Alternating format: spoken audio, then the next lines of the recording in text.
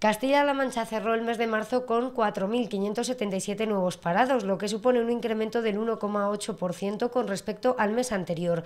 Con esta subida, el número total de personas desempleadas en Castilla-La Mancha se queda en 249.625. Por provincia, solo Guadalajara cierra marzo con datos positivos y es que de sus listas del paro salieron 11 personas, por lo que el número total de parados se queda en 24.125. En el resto de provincias las cifras de parados suben.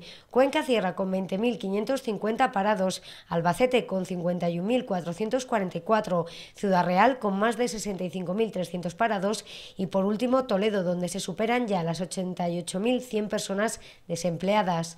Si analizamos los datos del desempleo atendiendo a los sectores, la mayoría pertenecen a servicios, y es que de los 4.577 nuevos parados, el 60% corresponde a este sector. Le sigue agricultura, al que pertenecían el 15% de los nuevos parados. A estos dos sectores le siguen la industria y la construcción.